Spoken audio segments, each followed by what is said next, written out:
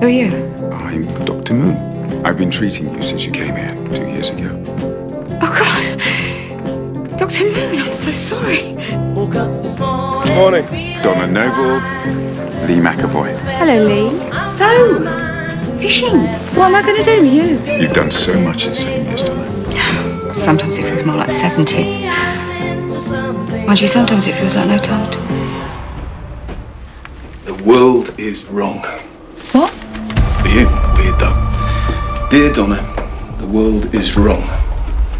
Meet me at your usual playground. Two o'clock tomorrow. How do you know me? We met before. In the library.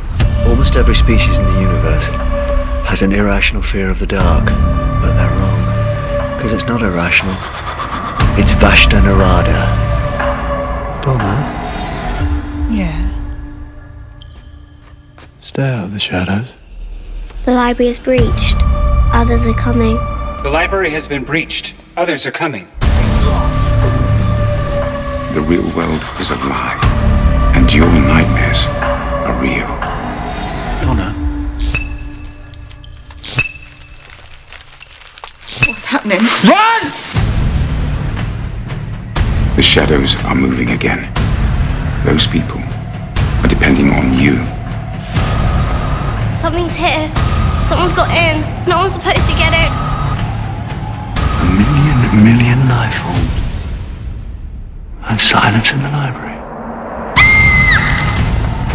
Don't play games with me. You just killed someone I like. That is not a safe place to stand. I saw the doctor. And then you forgot. And who is the doctor? The only story you'll ever tell. If you survive.